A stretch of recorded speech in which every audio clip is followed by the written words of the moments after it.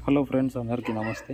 మీరు చూస్తున్నారు Telugu YouTube channel ఎందుకు ఏమిటి అలా? ఇప్పుడు మీరు చూసారనుకోండి కార్ మిర్రర్కి మనం ఎప్పుడన్నా వాటర్ ఇలా కడిగినప్పుడు లేకపోతే రెయిన్ రెయినీ సీజన్లో వాటర్ పడినప్పుడు చాలా డ్రాప్స్ అక్కడే ఆగి ఉంటాయి దాన్ని చాలా వీడియోస్లో ఎలా అంటున్నారంటే మనతో ఉంది కదా ఆలు. దాన్ని కట్ చేసుకొని ఇలా వైప్ చేస్తే అది వాటర్ రిపెలెంట్గా చూడొచ్చు చాలా వాటర్ అనేది ఇక్కడ స్టిక్ అయ్యింది డ్రాప్లెట్స్ లాగా చూడండి. సో ఇక్కడ మీరు చూసారనుకోండి మిర్రర్ పైన చాలా వాటర్ ఇలాగే అతుక్కొని ఉంది చాలా వాటర్ డ్రాప్లెట్స్.